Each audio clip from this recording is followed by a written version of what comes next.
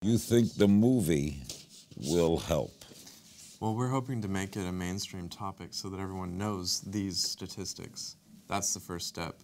And you know, the second step is to say no matter where you are politically or religiously, I would hope that you would recognize this as torture. And, and that's a that's a incredibly difficult hurdle. It shouldn't be, but it is.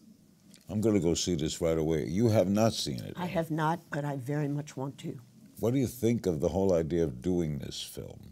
I think it is really important, as Garrard said, to get the message out and to persuade people and change hearts and minds that this kind of purported therapy is in fact a harmful exercise that subjects vulnerable teenagers to anxiety, depression, and a denial of who they are. So, my hope is that by having this kind of focus on it in popular entertainment, the message will get out across the country that this is a really harmful practice. Never miss a beat. Subscribe to Larry King now and watch new episodes every day.